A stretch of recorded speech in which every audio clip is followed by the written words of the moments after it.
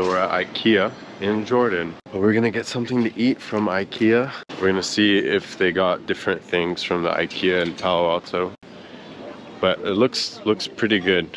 Looks like they got a lot of good food here. So I just got some Norwegian salmon mashed potatoes. Fusaki.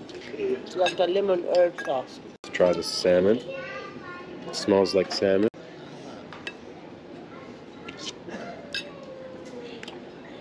Tastes like salmon.